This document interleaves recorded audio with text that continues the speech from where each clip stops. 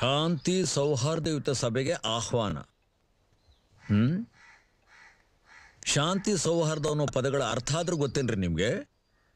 ಆ deputy commissioner ಬಂದು ನಮ್ಮ ನೆಮ್ಮದಿನ ಹಾಳು ಮಾಡ್ದ ಈಗ ಅಸಿಸ್ಟೆಂಟ್ ಕಮಿಷನರು. ಸರ್. ನೀವೇನ್ ಹೊಡ್ಕೊಂಡು ಹೋಗಿ ಬಂದಿದ್ದೀರಾ ಈಗ?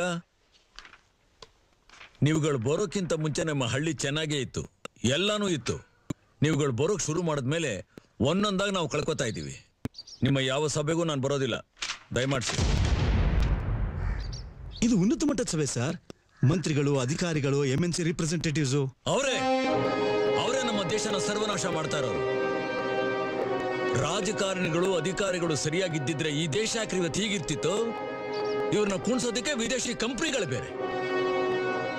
ಈ ಮನೆ ಹಾಡ್ರ ಸಭೆ ನಾನು ಬರಲ್ಲ ಅಂತ ಆಗ್ಲೇ ಉತ್ತರ ಬರೆದು ಕಳಿಸಿದಿನಲ್ಲ ನೀವ್ಯಾಕೆ ಬಂದ್ರಿ? ನಿಮ್ಮನ್ನ ಕರ್ಕೊಂಡ್ ಬರ್ಲೇಬೇಕು ಅಂತ ಹೇಳಿ ಕಳಿಸಿದಾರೆ ಸರ್. ನೀವ್ ಏನ್ ಹೇಳ್ಬೇಕು ಅಂತಿದ್ರೋ ಅದನ್ನ ಎಲ್ಲರ ಮುಂದೆ ಹೇಳೋ ಸ್ವಾತಂತ್ರ್ಯ ನಿಮ್ಗೆ ಇದ್ದೇ ಇದೆ ಸರ್. ನೀವು ಬರ್ಲೇಬೇಕು ಸರ್. ನಾನ್ಯಾಕ್ರಿ ಬರ್ಬೇಕು? ಬೇಕಾದ್ರೆ ಅವರೇ ಬರಲಿ. ಇಲ್ಲಿವರೆಗೂ ನಾವು ರೈತರು ಸರ್ಕಾರಿ ಅಧಿಕಾರಿಗಳ ಹತ್ರ ಅಲ್ದು ಅಲ್ದು ನಮ್ಮ ಚಪ್ಪಲಿ ಸವಸಿ ಸಾಕು. ನಮ್ಮ ಭಾರತದ ರೈತನ ಬೆನ್ನು ಯಾಕೆ ಬಗ್ಗಿದೆ ಗೊತ್ತಾ? ಹೊಟ್ಟೆಗಿಲ್ದೆ ಅಲ್ಲ ನಿಮ್ಮಂತ ಅಧಿಕಾರಗಳ ಎದುರು ಡೊಗ್ಗು ಸಲಾಂ ಹೊಡೆದು ಹೊಡೆದು.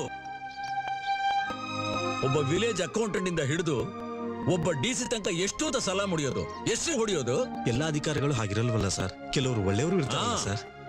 ನಿಮ್ಮ ಒಳ್ಳೆತನ ಏನು ಅಂತ ಗೊತ್ತ್ರಿ? ಮುಗ್ಧ ರೈತರನ್ನ ಹೈಜಾಕ್ ಮಾಡಿ ರೆಸಾರ್ಟ್ ಅಲ್ಲಿ ಇಟ್ಟು ಕೋತಿ ತರ ಕುಣಿಸ್ತಾ ಇದಿರಲ್ಲ ಅದು ಒಳ್ಳೆತನನಾ? ಇಲ್ಲಿವರೆಗೂ ಎಂ ಎಲ್ ಎಗಳನ್ನ, ಎಂ ಪಿಗಳನ್ನ ಮಾತ್ರ ಹಾರಿಸ್ಕೊಂಡು ಹೋಗ್ತಾ ಇದ್ರಿ. ಈಗ ಹಳ್ಳಿನ ಕಬಳಿಸೋದಕ್ಕೆ ರೈತರನ್ನು ಹಾರಿಸ್ಕೊಂಡು ಹೋಗೋಕೆ ಶುರು ಮಾಡಿದೀರಾ? ಈ ದೇಶ ಏನ್ ಮಾಡ್ಬೇಕು ಅಂತಿದ್ದೀರಾ? ಹ? ಅಲ್ಲ, ನಿಮ್ ಮನಸ್ಸಲ್ಲಿ ಏನಿದೆ? ಏನ್ ಮಾಡ್ಬೇಕು ಅಂತಿದ್ದೀರಾ? ನೋಡಿ, ನಮ್ಮ ಪರ್ಮಿಷನ್ ಇಲ್ಲದೆ ಹಳ್ಳಿ ಒಳಗಡೆ ಬಂದಿದ್ದೇ ತಪ್ಪು. ಮತ್ತೆ ಆ ತಪ್ಪು ಮಾಡಬೇಡಿ. ಹೋಗಿ. ಒಸಿ ಒಳಗ್ ಬತ್ತೀರಾ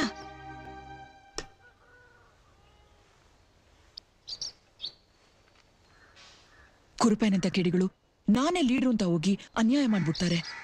ನೀವು ಹೋದ್ರೆ ಅಳ್ಳಿತ ಕಾಪಾಡ್ತೀರಾ ನೀವು ಹೋಗ್ಲೇಬೇಕು. ಕನಕ ನೀನು ಹೀಗಂತೀಯ? ನಾನೇ ಹೇಳ್ತಾ ಇದ್ದೀನಿ ನೀವು ಹೋಗ್ಲೇಬೇಕು. ಎತ್ಮಕ್ಳು ತೋಕ ಹಾಕಿದ್ರು. ಎದೆ ಉದ್ದ ಬೆಳೆದ ಎರಡು ಹೆಣ್ಮಕ್ಳನ್ನ ಕಳ್ಕೊಂಡು ಉಳಿದಿರೋದು ಈ ಮಣ್ಣು. ಈ ತಾಯಿನ ನಾವು ಕಾಪಾಡ್ಕೊಳ್ಳೇಬೇಕು. ನೀವು ಹೋಗ್ಲೇಬೇಕು.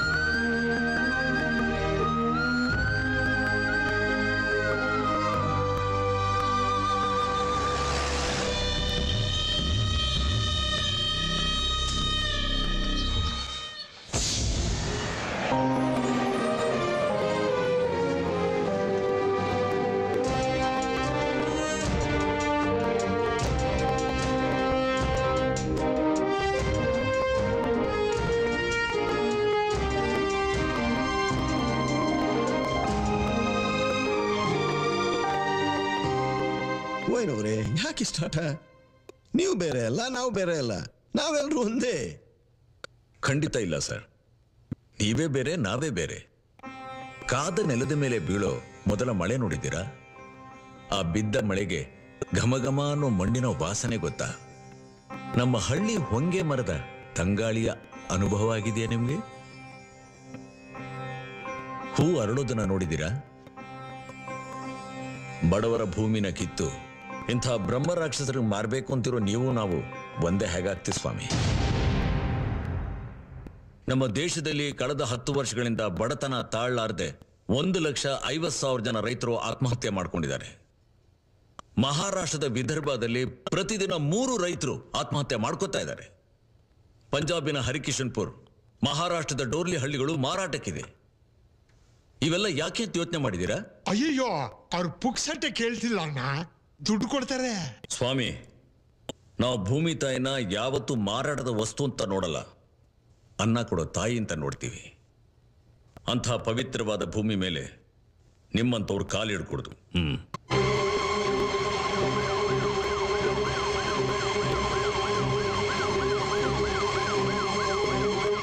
ಛತ್ತೀಸ್ಗಢ್ನಲ್ಲಿ ಶಿವನಾಥ್ ನದಿನ ಮಾರಿದ್ರಿ ಒಂದು ಖಾಸಗಿ ಕಂಪ್ನಿಗೆ. ರಾಯಗಢ್ನಲ್ಲಿ ಕೆಲವು ನದಿನ ಒತ್ತೆ ಇಟ್ರಿ. ಒಂದು ಲಕ್ಷ ಜನ ಮೀನುಗಾರರು ಬೀದಿ ಪಾಲಾದ್ರು. ಕೇರಳದ ಪೆರಿಯಾರ್ ನದಿನ ಹರಾಜ್ ಹಾಕಿದ್ರಿ. ಮಲಂಪುಜಾ ನದಿ ಅಣೆಕಟ್ಟನ್ನ ಒಟ್ಟಿಗೆ ಮಾರಿದ್ರಿ. ಸಾಗರ ನದಿನ ಯಾವುದೋ ಗ್ರೂಪ್ ಆಫ್ ಕಂಪ್ನಿಗೆ ಲೀಸ್ ಕೊಟ್ರಿ. ನರ್ಮದಾ ಹೆಸರಿನಲ್ಲಿ ಗುಜರಾತ್ನಲ್ಲಿ ಎಪ್ಪತ್ತು ಸಾವಿರ ಜನ ಬೀದಿ ಪಾಲಾದ್ರು. ಅದಕ್ಕೆ ಇವತ್ತು ಪ್ರಕೃತಿ ವರವಾಗಿ ಕೊಟ್ಟಿರೋ ನೀರನ್ನ ಕೊಂಡ್ಕೊಂಡು ಕುಡಿಯುವಂತ ಸ್ಥಿತಿ ಬಂದಿರೋದು. ಅಯ್ಯೋ ಅವ್ರ ಇವ್ರ ವಿಷಯ ನಮ್ಗೆ ಯಾಕೆ ಬಿಡಿ? ನಮ್ಮದಂತೂ ರೈತ ಪರವಾದ ಸರ್ಕಾರ. ಹೂವಣ್ಣ ನಾವು ರೈತರನ್ನ ಪ್ರೀತಿಯಿಂದ ಪ್ರೇಮದಿಂದ ಮಮತೆಯಿಂದ ನೋಡ್ಕೊತೀವಿ.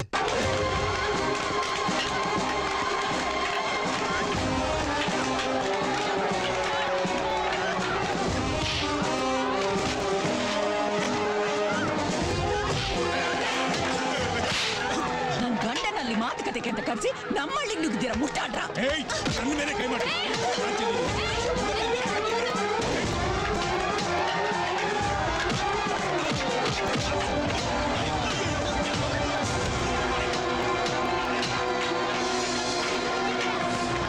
ಎಪ್ಪತ್ತು ಪರ್ಸೆಂಟ್ ಜನ ಹಳ್ಳಿಗಳಲ್ಲೇ ವಾಸ ಮಾಡ್ತಾರೆ ಆದ್ರೆ ಎಲ್ಲಾ ಸೌಕರ್ಯನೂ ಮೂವತ್ತು ಪರ್ಸೆಂಟ್ ವಾಸ ಮಾಡೋ ಪೇಟೆಗಳಿಗೆ ಯಾಕೆ ನಾವು ಮನುಷ್ಯರಲ್ವಾ ನಮ್ಮ ಮಾವು, ಬೇವು, ಸೀಗೆ, ಎಳ್ನೀರು ಎಲ್ಲರೂ ನಾಶ ಮಾಡಿದ್ರಿ.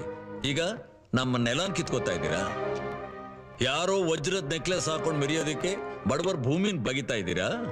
ನೀವು ಹೆಜ್ಜೆನಿನ ಹುಟ್ಟಿ ಕೈ ಹಾಕ್ತಾ ಇದ್ದೀರಾ? ಜ್ಞಾಪಕ ಇರಲಿ.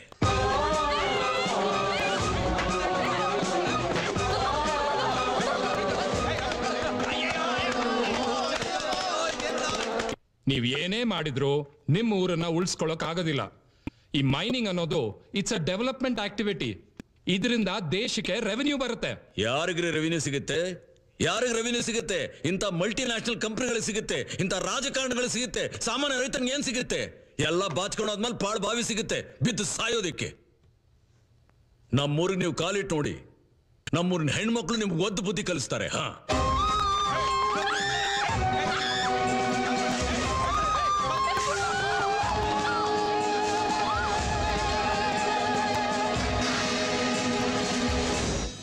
ನಿಮ್ಮ ಹತ್ರ ಪೆನ್ನು ಪೇಪರ್ ಇದೆಯಲ್ಲ, ಬರ್ಕೊಳ್ಳಿ. ನಿಮ್ಮಂಥ ಎಂ ಎನ್ ಸಿಗಳು ಗಣಿಗಾರಿಕೆಯಿಂದ ಜಗತ್ತಿನಾದ್ಯಂತ ಏನೇನು ಸಾಧನೆ ಮಾಡಿದಿರಂತ ನಾನು ಹೇಳ್ತೀನಿ.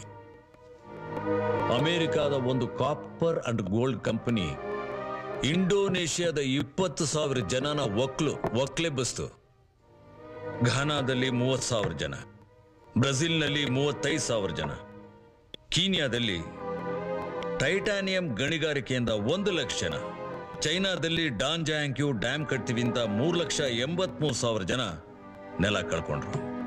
ಮೊನ್ನೆ ಸಿಂಗೂರ್ನಲ್ಲಿ ಸಾವಿರಾರು ಎಕರೆನ ಒಂದು ಮೋಟಾರ್ ಕಂಪನಿ ಕೊಡೋದಿಕ್ಕೆ ಇಪ್ಪತ್ತು ಸಾವಿರ ಜನ ಬಲಿಪಶು ಮಾಡಿದ್ರಿ. ನಮ್ಮ ಕರ್ನಾಟಕದಲ್ಲಂತೂ ಅಭಿವೃದ್ಧಿ ಹೆಸರಿನಲ್ಲಿ ರೈತನ್ಗಾಗಿರೋ ಅನ್ಯಾಯಕ್ಕೆ ಲೆಕ್ಕನೇ ಇಲ್ಲ. ಇದುವರೆಗೂ ಭಾರತ ದೇಶದಲ್ಲಿ ಮನೆ ಮಠ ಕಳ್ಕೊಂಡ ಸಂಖ್ಯೆ ಮೂರು ಕೋಟಿ ಜನ. ಅದರಲ್ಲಿ ಮುಕ್ಕಾಲು ಭಾಗ ಜನಕ್ಕೆ ಒಂದು ರೂಪಾಯಿ, ಒಂದೇ ಒಂದು ರೂಪಾಯಿ ಪರಿಹಾರ ಸಿಕ್ಕಿಲ್ಲ. ಯಾಕೆ? ಯಾಕೆ ಸ್ವಾಮಿ? ಬಡವರು ಹೊಟ್ಟೆಗೆ ಬೆಂಕಿ ಇಡ್ತೀರಾ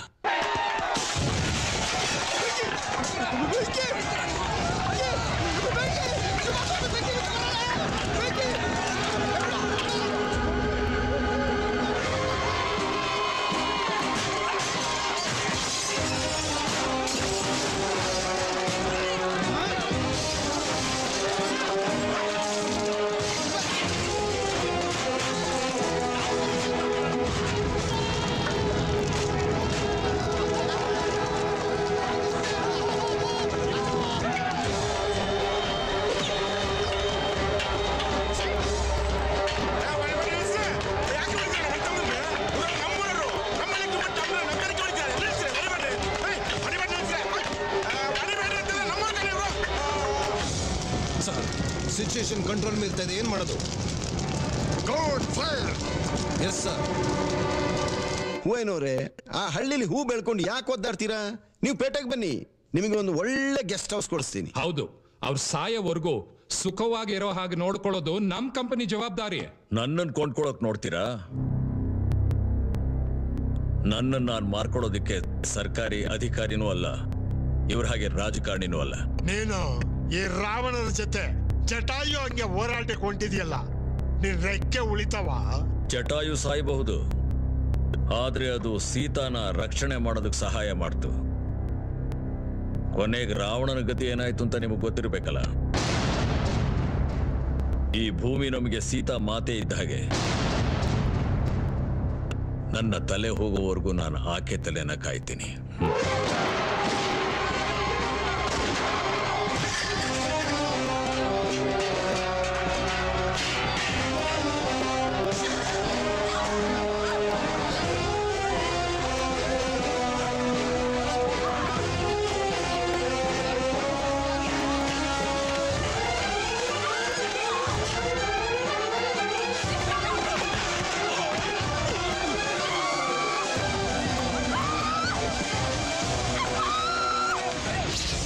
Why is this poor farmer begging?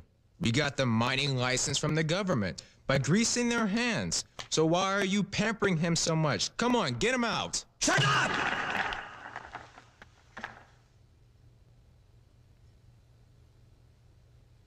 I came here on your invitation as a guest, not as a beggar.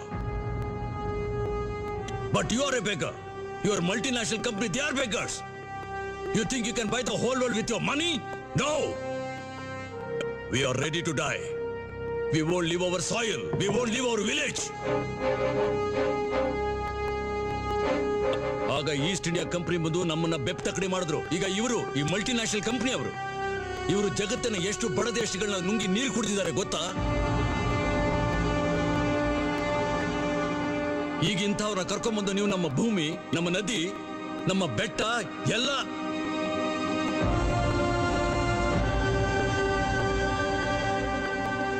ಬರುತ್ತೆ.